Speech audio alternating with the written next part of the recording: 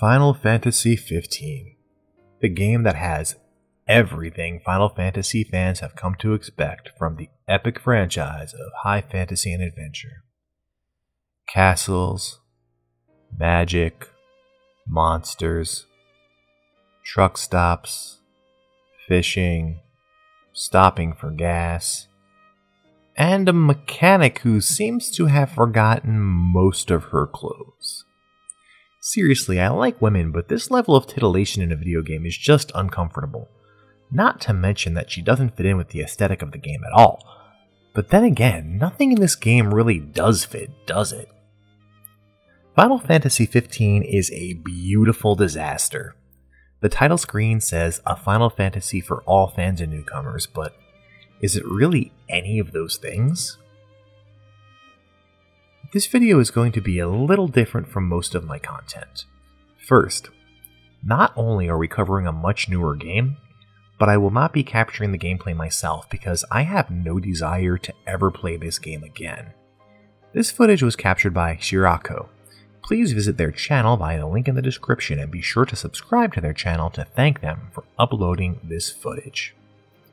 Now, I should qualify that statement by telling you now that after I wrote this script, I did start playing the game a little bit more just to revisit it.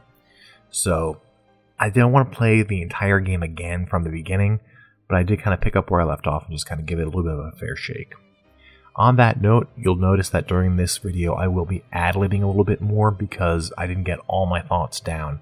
And since I started playing the game again after I wrote the script, I have a few more thoughts that I might tack on here and there. So if it sounds a little unpolished, that's why. I feel the need to preface this video by saying that this is from the perspective of an old school Final Fantasy fan. I grew up with this series. My first exposure to the series was the very first game in the franchise, Hironobu Sakaguchi's magnum opus, Final Fantasy. For me, the franchise was irrevocably changed once Sakaguchi left the company. For this reason, my expectations of what a Final Fantasy title should offer may be different from yours. I have a number of issues with Final Fantasy XV as a game, and even more issues with Final Fantasy XV as a Final Fantasy game. But in the interest of fairness, I would like to start by talking about what Final Fantasy XV does very well. First off, the game is absolutely stunning. From the moment your K pop boy band leaves the fairy tale city for a tourist trap somewhere in Arizona, the game constantly delivers breathtaking visuals. The world is truly alive and bustling with tremendous detail. The grass blows in the wind, sun- sunlight reflects off the vehicles, and sweat drips off the brows of the characters that you interact with. The extremely high production values mean that cutscenes and even some parts of the gameplay really look and feel like a Hollywood movie. It's skillfully directed, and it makes the extensive use of wide shots, sweeping shots, and various camera angles it really drives home a very cinematic feel. While the opening of the game uses a kind of confounding cover of Stand By Me that's very Final Fantasy stylized, I guess you might say, the game itself is otherwise brilliantly scored, as any Final Fantasy should be expected to be. That's one thing I absolutely cannot take away from this game, it's got an amazing soundtrack, just like all Final Fantasy titles have had. As you progress through the game, you visit some really amazing and breathtaking places, and the environment design in the game is incredible even though all locations are based on what seems like vacation spots, it does make you feel like it makes you feel like you're on a vacation the whole time. That's the one thing that really does kind of kind of um, hurt the game, but I'll talk more about that later. The main takeaway for this portion of the video is just to discuss and describe that all the environments are really nice. It's all really beautiful. I definitely was struck more than once at just how good some of these places looked. The writing is, for the most part, very good, but we'll get into that a little bit more later. And the voice acting is probably the best I've seen in a localized game. I never felt at any point during this game like the dialogue was corny or cheesy. It never felt forced or hokey. It always felt like it made sense and it worked. I think that's that's high praise in a game like this. A lot of times these games they rely so much on these juvenile tropes, and this one really doesn't do that. It's a very grown up script, it's a very smart script, and the overall writing and pacing is pretty good. I won't say very good, but it's pretty good. Now, before I start talking about what I don't like about this game, I, I want to point out there's one more thing that I really, really do love. Uh, just kind of as an aside, and one of the party members, Ignis, he's a cook, right? And he'll come up with new recipes as you journey through Lucis, uh, as you're doing side quests, as you find new items, and this was probably the most fun part of the game for me. It doesn't hurt that the food he cooks looks really delicious. I've been tempted to order takeout on more than one occasion while I was playing this game. Uh, I've never wanted broiled eel more in my life than when uh, than when uh, Ignis made a similar dish in the game. But there there are a really uh, amazing, a few really amazing cinematic events that take place throughout the game, and they're of extremely high quality. The behemoth hunt is fantastic, and every time you encounter an Esper, you're in for a very exciting experience. Now, before we continue, I want to clarify that all of this is just my opinion. If you disagree, that is absolutely okay. In fact, I want to hear your thoughts. Leave a comment and tell me what you think about Final Fantasy XV. I know that Final Fantasy fans are very, very passionate, but I also know that we're very divided with some of these games. Some of us feel very strongly about it. I mean, the debates are always raging online about these Final Fantasy games. So, now's your choice to have your voice heard. Discuss it in the comments. I want to put one more quick warning out there. This video is going to contain many spoilers. So if you have not completed this game yet, if you don't know how it ends, if you don't know what happens during the course of the game, I strongly recommend make a decision of whether or not you want to experience the game before you watch any more of this video, because I will be spoiling it for you. On with the show. What I dislike the most about Final Fantasy XV is what it could have been. Now, this is not really a history and trivia channel, these days, I focus a lot more on the experience of playing the games rather than the stories behind them. There are other YouTubers who can do a much better job of that than I can. I, uh, Super Eyepatch Wolf, uh, Ultima, I mean, these are far better at this part of the storytelling uh, of making these videos than I am. But I have to talk at least a little bit about how this game was supposed to be Final Fantasy Versus 13. Even that seemed like a really odd choice to me, especially being that this obviously has nothing to do with that game. But that wasn't always the plan. It was supposed to be a spin off of the 13 trilogy taking place in the same universe. The rather useless Lunafreya was supposed to be an infinitely more badass character. Now, I want to circle back to that quick because I did write that line before I got through uh, some of the parts of the game where Lunafreya actually was kind of badass but I understand a lot of the criticisms people have of that character. She has a few great moments, but for much of the much of the story, she doesn't really do very much. Uh, and the character she was supposed to have been was supposed to have been a much more active character in the story and have a much bigger role, a lot more screen time, and actually be part of the party and be on the adventure, rather than just kind of being this this maiden in the tower that Lunafreya spends most of the game being. There were so many issues with the development of the game, and it was stalled several times for a number of reasons to the point where they just said to hell with it and made it a new numbered entry for whatever that even means anymore. I mean, look at the numbered entries of the Final Fantasy games, it doesn't really seem like there's any particular standard of what makes it a Final Fantasy game or not. They have kind of side series like Tactics, but they also have MMORPGs that were just given a number. So, where's the distinction supposed to be made? It's really not clear okay, uh, the tactics games take place in Ivalice, so does 12. So what's that distinction? The tactics games are, I guess, SRPGs, but why is an SRPG not mainline, but an MMORPG is? It doesn't really make a lot of sense. So I don't really know the logic of why Square Enix does what they do in terms of deciding what's going to be a mainline entry and what's not. It probably has more to do with money than anything else. Anyway, uh, Super Eyepatch Wolf has an amazing video where he really dives into that, so I strongly recommend heading over to his channel and watching the video. Final Fantasy 15 is a mediocre disappointment.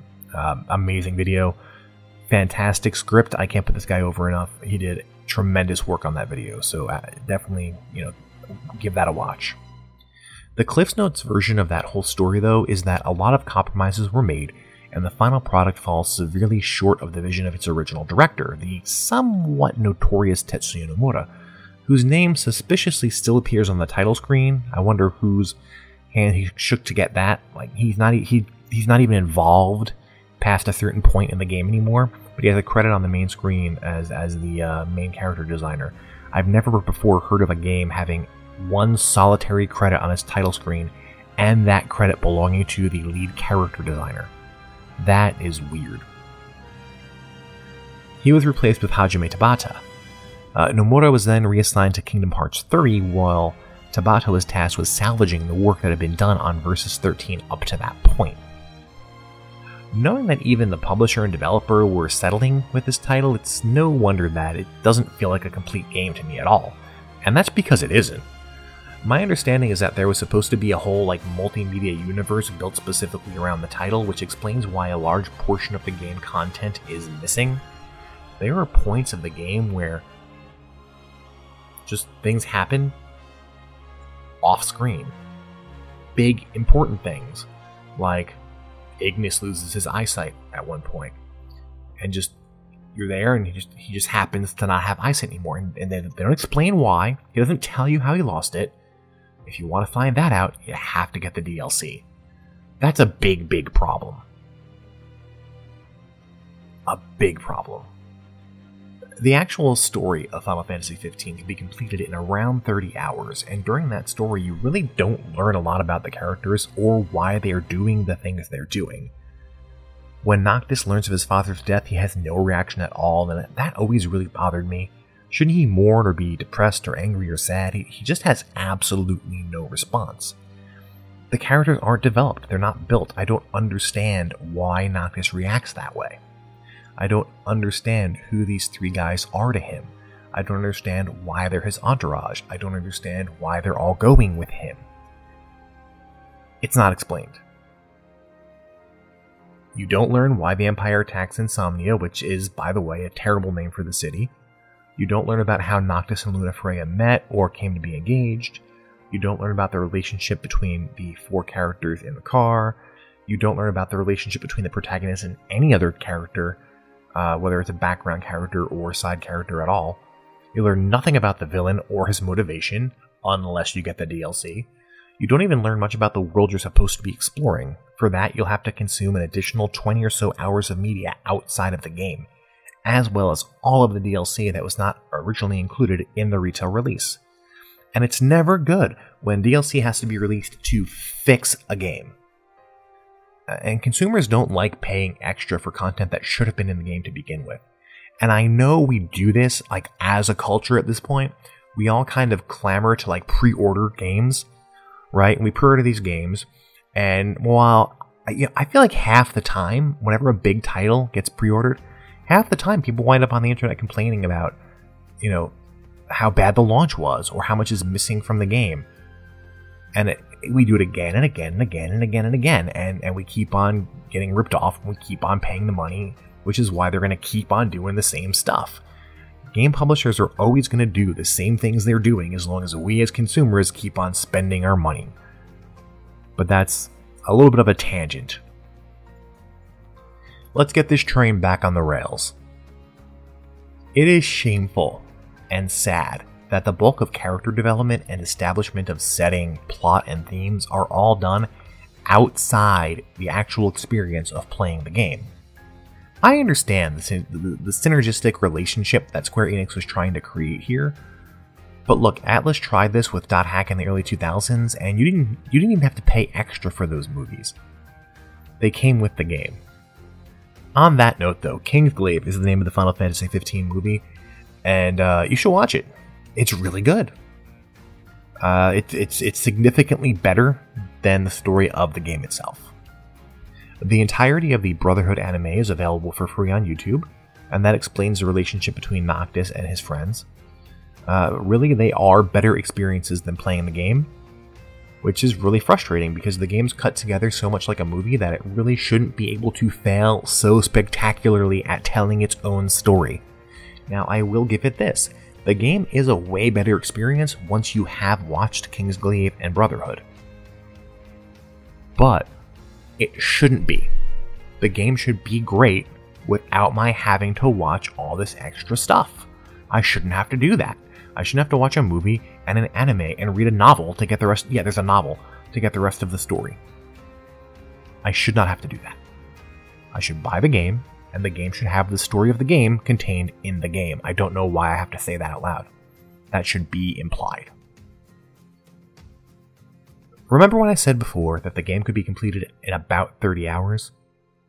There's like 100 hours of content altogether in this game. The side content is more than twice as large as the actual story of the game, and it's all tedious crap. You're running errands. There are monster hunts. Um, there's hundreds of them. There are maybe two or three that are actually interesting. Uh, there's fishing. Fishing, fishing is actually kind of fun but it also takes you out of the game and makes it kind of boring. There are a few special hidden bosses uh, whose assets were purchased from a third com- company studio in China and weren't even made by the talented designers at Square Enix. So you got a guy who put his name on the front screen as the lead character designer and did not design the assets for a lot of the characters that appear in the game. They actually outsource that. And it's just not quality content, it's all padding. So there's a 30 hour storyline in this game, of which 20 or so hours are missing. And then there's about 60 to 70 hours of padding. Just go look at frogs. My car broke down. Hi, Your Majesty, I know you're on a quest to save the country, but my car broke down. Why is the prince of the kingdom running around doing errands for, for all these common people? It doesn't make sense. And I got so swept up doing side quests when I first played this game that I was stuck in the first part of the game for like 30 hours and it was totally pointless. I kept on doing side quests. I I like forgot what the main story even was, which is just as well because they weren't they weren't telling it anyway. But there's so much side content. I was running around the game world doing this crap for like weeks.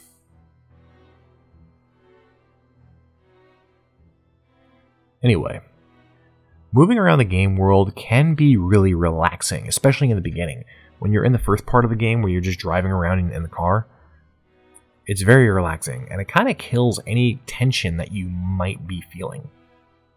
You're just sort of driving around or sailing around it just feels like you're on a trip with your buddies, not carrying the fate of the world in your hands.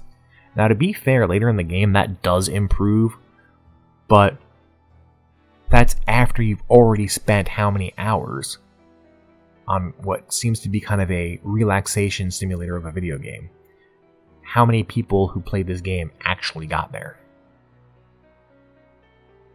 Now, I mentioned before that the game world is not very well fleshed out. It just kind of seems unfinished, like there are parts of it missing. Not just parts of the story, but parts of the actual world. While I was playing, I just kind of felt like I was playing in the story, I just like kind of jumped ahead. And they're just like places that they didn't bother making. So instead of visit those places, you just kind of get auto moved to the next area. There's a part where you have to go back to the power plant. And uh, instead of like, you know, actually go there, it just kind of cuts and boom, you're there. Just, I guess, because they didn't want to put in the part of the game of you getting from the ship to the power plant for whatever reason. And there's a huge disconnect between the countryside of Lucis and the fairy tale city of Insomnia. Now, now, this may be an attempt on the part of the writers to kind of flip the typical fantasy story blueprint on its head. In most fantasy stories, the hero starts in a rational world, sometimes our own world, and sometimes a world that's very similar to our own. But eventually, through some outside events, uh, you know, but outside the protagonist's control, they cross a threshold into a world of magic and wonder. And here the opposite happens, and it really doesn't work. Later on, you cross a threshold back into a magical world again, and then things get a lot more interesting. But here, just the the the, the world is so mundane.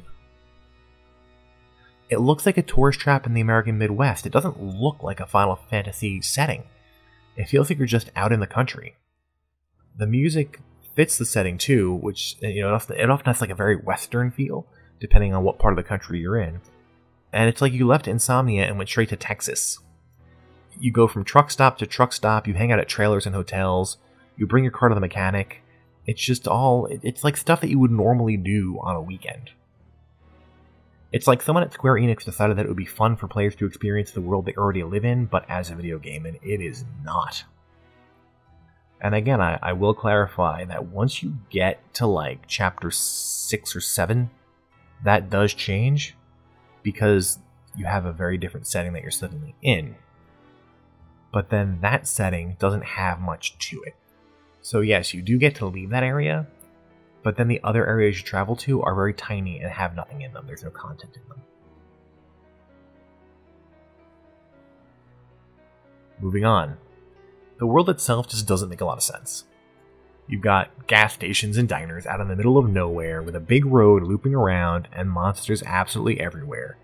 There is no barrier between the tourist resort and the bloodthirsty creatures. At night, the demons come out, and if you're caught, you know, driving at night, they'll kill you, but they won't kill you if you're having a burger down at the diner. Meanwhile, the people of Lucis just kind of like hang out in t shirts and like tank tops. No one seems to even be worried about the monsters. Like, you go to the diner to get your hunts, and even the guy at the diner is like, "Oh yeah, I guess like if you want to go kill that, someone might pay you for it or something." But he's not worried. He's just working at his diner, fifty feet away from the behemoth. They just kind of ignore the monsters and the fact that they even exist. Uh, it just, ugh, it it doesn't make sense. It's just it's it's it's dumb. It's just dumb. It doesn't help at all that the assets are reused so often that you'll see the same exact NPC in the same room. The diners all look exactly the same. It's not too noticeable if you move quickly through the story, but once you start doing the side content, it starts to make the world feel really small. And I think that's the biggest problem with this game the side content. If you just play this game storyline wise and just go from beginning to end and don't do any of the side content, you won't notice, but all that side content exposes every single flaw in the design of the game. It fundamentally fails at basic world building, and this is something that any work of fiction should be able to do as part of its groundwork. Building a world that makes sense is not difficult at all, so how on earth did one of the most prolific video game producers in the world manage to royally screw it up like this? And I think the answer to that is adding all this side content and exposing how much it doesn't make sense. Now, if that's not enough, there are several instances of really obnoxious product placement. This game really wants to sell you cup noodles and Coleman camping equipment. Because as we all know, fans of JRPGs are avid outdoorsmen, am I right? I know that everyone watching this video right now is about to go camping in their RV this weekend, yeah? Obviously. On that note, the fact that you go camping at all in this game doesn't even make sense. You're never really all that far from the car. You can almost always quick travel back to the car, and you get a huge experience bonus if you rest indoors. You're also supposed to be urgently moving forward towards your goal, not like screwing around with your buddies in the woods. So it's weird. Um, I guess it makes sense when there's a campground inside of a dungeon, but on the other hand, there's a campground inside of a dungeon. Why are there campgrounds inside of dungeons? I've never been in a dungeon in my life in the real world, but I'm pretty sure that there's not camping grounds there. I don't there's a I don't think there's a place to park your RV in like catacombs. So, I've talked about how badly they screwed up the game world, and how they didn't bother to write most of the story into the game, how the characters aren't developed, and how the story in much of the game world seems to be missing, but surely there's a saving grace here in the action and fighting portions of the game, right? Now, I want to really quickly talk a little bit about how I am an old school Final Fantasy fan, though I might be a little bit of a purist, and boy, I miss the ATB type battle system and not the current not ATB that they have since 13 where it's like it tries to be an action game but also not at the same time and winds up kind of being neither a turn-based game nor an action game it's kind of somewhere in a nebulous world that lives between the two sides And I feel like with this game, they tried to make it fully an action RPG experience. It very much is. The battles are very alive. In fact, uh, they're kind of a boring chaos for the most part. Now, my feeling is that ever since they did away with the turn based uh, kind of combat, the turn based ATB combat, ever since then, I feel like they've been trying to find something to replace it, but never actually did. So every time they make a new game, now they're like, oh, what do we do? Well, we can't do turn based ATB anymore. So let's just come up with some sort of weird hybrid crazy nonsense system. And that's what they do, and every single time it's super divisive. Some people love it, some people hate it. Most of your classic fans hate it. Just find something else that works and stick with it, or stick with the thing that worked to begin with. There's nothing wrong with a turn based ATB system, it's fine. Games like that are still enjoyable. There was no reason to ever change it. But at some point, they decided, hmm, every game should play like an MMORPG, and they just box themselves in, and now they're in this corner they can't get out of. So in Final Fantasy XV, you only control Noctis, and the three companions are controlled by AI. Except for when you do like these little mini QuickTime events for team up attacks, which I don't know, like I have a hard time even pulling them off anyway, just because you have to set them up a certain way, and it's tedious and not worth doing. Uh, I mean, those can make things a little more interesting, but there's nothing stopping you from just holding down the circle button for the entire fight and just, you know, use the potion when you need it. There's nothing at all stopping you from doing that. You can clear most of the game just by doing that. And then just keep on doing that and just outlevel everything. Like, I did so much side questing that I outleveled most of the content. Like, when I was just playing just before, uh, I'm in like chapter 10 now, or chapter 11, and all my guys are like level 43, which is ridiculous. Like everything is weak next to me. All I have to do is sit there and hold circle. I can just face roll the entire game. I choose not to do that to make it more fun, but there's nothing stopping you from doing that. Uh, I get a lot of the blind side link attacks, which is like when you attack an enemy from behind, but the positioning in the game is so janky that you almost never do it on purpose. It's, it's usually by accident and uh, there's not that much control over what's happening in these battles. You, you know, you're going to target whatever enemy is nearby. You can lock on an enemy, but then if another enemy is like closer, it seems like Noctis will just sort of switch to that one anyway. So I'm not sure what matters. Uh, if you walk around at night, you see much stronger enemies, but after you do like about 150 battles with roving groups of Imperial troops, that just randomly drop out of the sky. Suddenly, those enemies aren't that strong anymore because you've been getting all this XP from fighting all these soldiers that drop out of the sky every 10 minutes in the game. And yeah, you can use magic to try and exploit an enemy weakness or take advantage of a staggered enemy who's in a vulnerable status, but because magic in this game works like a grenade, and your partners are always clustered around the enemies, you can't cast any spells without exploding your teammates. And it's not like the area of effect on the spells is small. The area of effect on these spells is massive. It just takes up the whole battlefield. So like, well, like if I'm gonna cast a spell in this game, I'll stand like way on the other side of the world from the enemy, like as far as I can to be out of range of them. And then I'll throw the magic grenade. It blows up. It, it hits all of my teammates and all the enemies. The only difference is because I'm so overpowered, it doesn't kill my teammates. It only kills the enemies. But then the entire uh, the entire battlefield is on fire, so I have to stand there and wait. Otherwise, I'm on fire. It just doesn't make sense.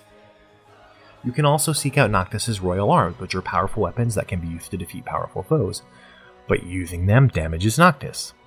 A single attack on a large group of enemies can do enough damage to kill Noctis, so there's really not much point in ever using them.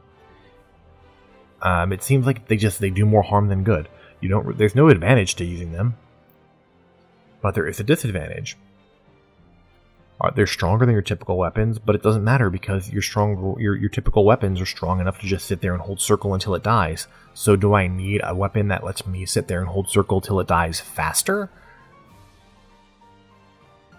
Not really, because if it's damaging me, I just pop a potion. It, it doesn't matter. None of the strategic or tactical elements of this game matter and you go through a whole tutorial where it explains them, and you can dodge and block and parry and do all these link attacks, and it sounds so cool, and your your extra characters have special moves that you can tell them to do at certain times. But it's all totally unnecessary. The worst part of it all, though, is that I really do want to love this game. I even did sink like 40 hours into it before I gave up the first time because it was just, it was tedious. It was so tedious. Those amazing moments were simply too few and far between, and for that matter, I really believe that this was a. I really believe this was a passion project. I think it started out that way for Nomura. I think he really did love this project. He really wanted to make it his own. He really wanted to put his, pour his heart and soul into it, and I think his team was on board for that. I just say that because there is definitely a feeling of love here. This is this was a labor of love. I can tell that. I think when Nomura was taken off the project and Tabata replaced him, I think that labor of love became a labor of money. And I think that speaks a little bit to kind of the, the internal issues we've all been hearing that Square Enix has been having over the past few years. And I think that's a lot to do with why things went the way it did. I'm not a fly on the wall, and I'm sure there are others who know more about this than I do. But from just what I do know and just my guess is that I think Nomura was taking his time. It was taking too long they had issues with the engine and all kinds of issues and problems with the game. Nomura was working, I think, very hard to make this the game he wanted to make it, and it just wasn't happening. And I think they took him off the project and put somebody else on it who was going to make a game that was going to sell and make money. I think Nomura's game was not going to make money. They knew Tabata could make a game that was going to make money. This is just speculation. When the whole story is revealed, though, it is full of adventure, romance, political intrigue, humor, drama, themes of responsibility, control, family, friendship, legacy, and independence. It's just a damn shame that so little of that made its way into the actual game itself. And overall, Final Fantasy XV could have been so great, but it just never really got finished. It's a shell of what it should be.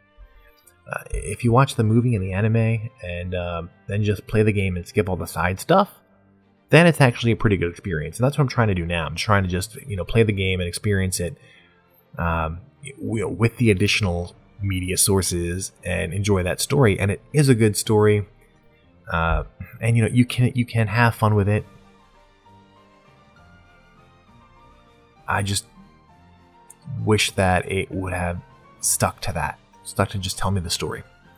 Uh, the Pocket Edition does a way better job of that, by the way. The Pocket Edition just basically just does that. It just tells you the story. I think I would have liked this a lot better if it had given me the entire story and just told me the story and didn't try to didn't try to be Skyrim, didn't try to be Fallout. And if they had maybe given a little bit more thought to the way that the world works that they've created, I think it would have been a much better experience altogether. I wasn't really sure exactly where to fit this font, but one thing that I noticed that really drove me nuts is that the load times are really long for this game. And that makes no sense to me. It, this game was released in what, 2016, 2018? I don't even remember anymore. Not the point. The point is, the load screens are so long. What are why why does any game still have a long load screen? Isn't the isn't the hard drive in a PlayStation 4 uh, an SSD? Isn't it solid state? It's not a mechanical drive, is it? Because that takes forever to load this game, and it shouldn't. Games like this in today's world, you know, they shouldn't take that long to load. Eh, there's just no reason for it. They they install the game to the hard drive on the machine so that it won't take so long. It doesn't make sense to have a game that you have three, four, five minute loading screens. makes no sense. With all that being said, I want to come back around and say I don't think that Final Fantasy 15 is so bad that it's unplayable. I think there are some really fun parts of the game. There are some big, amazing, epic battles that are really incredible. I think the story is fantastic. I think it's just not in the game. And that's my big problem with it. Uh, there's also a lot of those big, incredible moments are kind of reduced to these sort of interactive cutscenes I mean, yeah, it's really cool, like when you fight Leviathan and it's a big giant sea monster that you're trying to fight. But then you suddenly become invincible, and there's no point anymore to even having the fight because you're just sitting there holding the A button until it dies. And you don't even have to use potions anymore. What's the point? It's a cutscene. Either either make it a fight or make it a cutscene. Don't make it a cutscene that pretends to be a fight. Now, sadly, there were three more DLC packs that were planned for Final Fantasy XV, but all production of DLC on the game was stopped when Hajime Tabata left the company, and he just said that he no longer felt motivated, which is really strange. All remaining DLCs were cancelled, and the team was reassigned to a new project. Uh, while both Tabata and Square have been very vague in their explanation as to exactly why this happened, I'm sure that didn't make shareholders happy. It sounds to me like Tabata was tired of working on a troublesome project, especially one to which he had already given six years of his life, um, you know, kind of picking up the pieces of somebody else's work. I think he was burned out and very likely tired of Square Enix's now notorious internal issues. I've never heard of somebody, you know, stepping down from a job like that because they, they're not, I don't feel motivated anymore. I mean, obviously, this is a huge company. I'm sure they were paying the man very well to direct these massive projects. We're talking, you know, multi billion dollar budget projects, and he just walks off the project and says, I resign, I just don't feel motivated anymore. I feel like there had to be something more going on in order for Tabata to want to do that. Uh, the fact that all future DLC was dropped and the team was reassigned, what that tells me is that Square Enix just wasn't that confident in the future of this game. It doesn't make sense to stop a project just because the director has resigned. Under normal circumstances, a new director would be appointed to finish that work. Instead, they had someone make a novel out of the rest of the story that was supposed to be told, which is obviously way cheaper to produce. So my thinking is they were losing money on this DLC, and they didn't project that they're going to be making any money on this DLC. So I think that that's that's really what it came down to. I don't think Tabata left and then they canceled all the DLC. I think Tabata found out they were planning on canceling the DLC and then he left. I, logically, that just makes more sense to me. You know, if I was making you know a couple hundred bucks a year to direct these big projects, he probably he's probably making more than that. Uh, and then, even if the projects weren't that great, I wouldn't just quit and like throw that money away. You know, you're getting paid a good salary to do, to do this work. No, I think he probably heard it through the grapevine that this is what was planning. He probably heard the guys upstairs were talking about, you know, canning this entire endeavor, and I think he he decided he would rather go out you know, go out a winner and resign before they made that announcement. But that's just my speculation. Uh, you know, I think that's a much more kind of Japanese way of handling those kinds of problems. If I can be so bold as to suggest that I might understand that culture in that regard, you know, in business in business in Japan is like that. You know, it's all about saving face. So I think that it might have been. I think Tabata may have resigned when he did to save face before having his project canceled. But again, just speculation on my part. I'm not a fly on the wall. I have no inside information. I'm just guessing. Now, on that note, everything else I've said in this video about this game has been my opinion. I don't expect you to agree with me. Uh, I expect many of you to disagree with me. So let me know your feelings in the comments on this video. Do you think I should give Final Fantasy XV another try? Sound off below, let me know what you think. I have recently been playing a little bit, you know, because I want to know the rest of that story. I want to know what else happens. I got that I got that involved in it. And the only reason why I want to know the story and want to know what happened is because for this video, I watched the anime series and the movie in order to prepare for this video. And once I did that, I cared about the story. That's what it took. It took that media to tell pieces of the story that should have already been in the game to get me interested in the plot of the game.